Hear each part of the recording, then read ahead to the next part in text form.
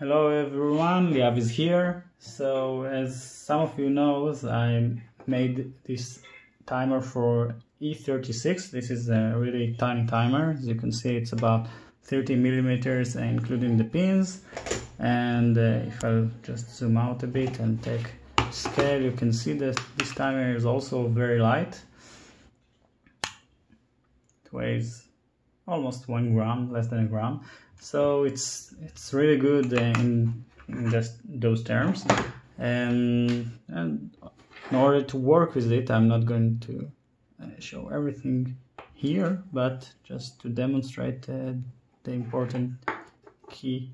You start it up and if you want to change anything you need to press three clicks and then you see different patterns of light and you need to remember this in order to change the DT time and the motor RPM and everything else, which is actually pain in the ass. Well, I admit it. Well, this timer has many features, but it's very difficult to program. So, what I have for you today is, let's see, is this timer here. Well, uh, it looks exactly the same. And you're right, this is the exact same PCB so what's the difference? Is the software inside this chip. I made a new software here, which also, that means that if you have an old timer of E36, you can upgrade the software to get the new one. And soon you will see what's the difference. So first, instead of connecting directly servo here to the left, you need to connect this cable. This is a three pin cable an extension for the servo and here another three cable that go here to this four uh, connector. Only the two right pins are shorted here. So let's connect it and see how it works. Connect it like this. I connect the servo here. And what we're doing is this? We have this Bluetooth module. This is this allow to this timer to communicate with other Bluetooth devices such as Android device. So I connect it, uh, where's the VCC here. And you don't need to put it on your model. You just need to connect it in order to program the timer. And when you're done, just doing like this and you're good to go. So it's very easy and it so you don't have to carry the weight of the, this model. And uh, I'll connect here the battery instead of a speed controller because I don't uh, have one accessible here. And, and I'll bring my phone my other phone. So let's see. Zoom out.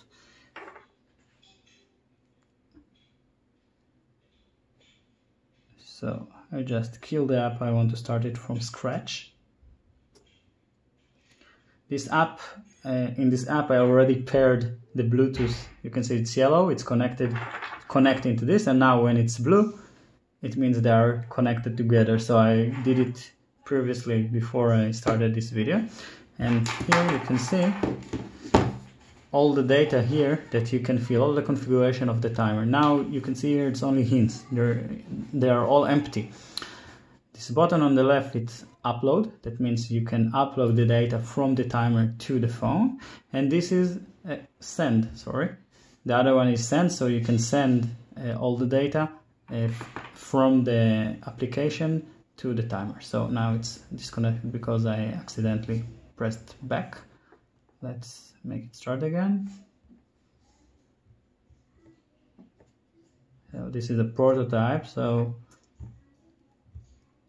it's a good thing to kill the app and start it back again if it won't connect. So now when it's connected, I'll press the upload and you can see we have all the data here. Two minutes for DT time, three seconds for motor time, one and a half second for ramp up time, 59% of max RPM and 20% start RPM and for delay. So if you want to change anything, it's very simple. We just change it like this from 4 seconds we want to change to 3 seconds for example so we're doing like this and press send and it sends to the timer. We want to change the direction of the servo. I press this to change it from reverse to normal and I press send. And the servo will move to the other side. That's easy. When you press send, it sends all the data here on the screen in less than a second, as you can see. And so also what's new besides that programming, I added two new features that uh, were not inside this this timer, the old one before. So first, ramp up time. Uh, well, uh, if you remember, uh, when you use this timer, you first need to long press on this button in order to start the engine. But you cannot throw it immediately because there is a safety feature of the ramp up time. Uh, on this timer, it's hard coded to one and a half seconds. That means that after the motor started, you must wait at least one and a half seconds before you throw. And I made it for safety reasons. That means that if you accidentally press this button and the motor started, your automatic reaction, if you didn't intended to do this, is to throw the model away and then the motor will stop immediately uh, to not injure anyone. So other friends told me that they don't want to wait so long. They wait they want to wait for example half a second. So they they want to change it. So i made it possible here. Another thing that uh, I, I notified about is that um, when the motor started is running at about 90% rpm of the maximum rpm that you configured. And some people told me that they wanted to be a much lower RPM. So you can now configure also the start RPM. So this is the RPM of the motor before you throw it. You can also get it down to zero so the motor will start only when you throw it and not before. So uh, as you, as you decide. So uh, as you can see, this timer is very easy to program uh, compared to the old one. The use of the timer is exactly the same like it used to be and again what's more important that everyone who has uh, this timer the old version uh, it's upgradable. You can send it to me contact me uh, i'll put the email in the description and you can contact me and uh, i can upgrade you the timer uh, for you. And um, also if you have any other comments or suggestions or any ideas to new features that i can add here inside this app in order to make the timer even better for E36, uh, please let me know. Uh, you can write me here in the comments.